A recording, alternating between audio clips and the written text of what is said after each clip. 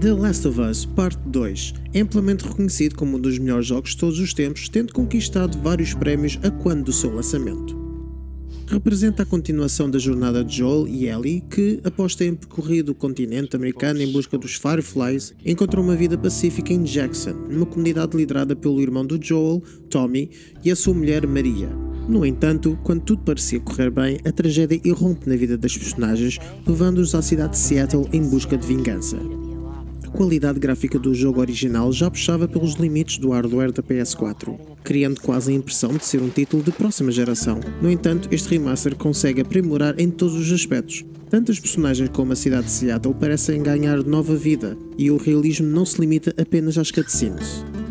De forma a complementar a jogabilidade do jogo original, esta versão implementa uma mecânica que se encontrava ausente, a opção de escolha entre o modo fidelidade e o modo performance. E como bónus, foi ainda incluída a opção de jogar com os comentários do Neil Druckmann, proporcionando aos jogadores uma visão mais aprofundada sobre o processo de criação do jogo.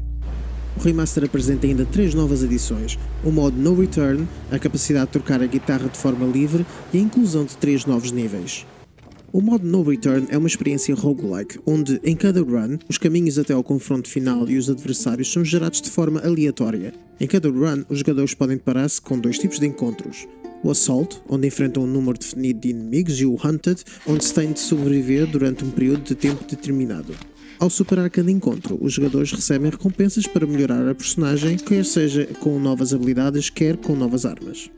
Levando em consideração a recepção positiva da possibilidade de se poder trocar guitarra, a Naughty Dog adicionou um modo livre onde podemos escolher vários personagens e instrumentos. Como bónus, foram introduzidos três novos níveis que tinham sido cortados, níveis estes que, apesar de não estarem finalizados, proporcionam uma visão valiosa dos bastidores da criação do jogo.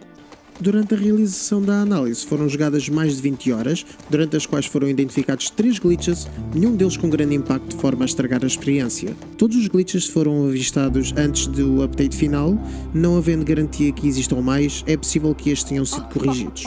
Em conclusão, as melhorias realizadas nesta versão, tanto em termos gráficos como de jogabilidade, juntamente com a adição de novos modos, fazem deste remaster a forma ideal de experienciar esta história, tanto para os jogadores que possuem a versão original e optam por adquirir adquiri-lo por um acréscimo de 10 euros, como para os novos jogadores que o irão experienciar pela primeira vez.